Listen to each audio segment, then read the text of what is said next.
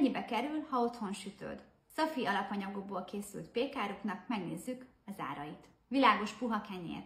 Ebből egy 455 grammos kenyér fog készülni, és az otthon, ha otthon sütöd, rezsiköltség nem számolva, 786 forintba kerül.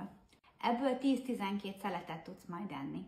Tehát szeletenként 80 forintra jön ki, ha otthon készíted. Kakaós csiga. Express Listből készült kakaós csigát számoltuk ki nektek.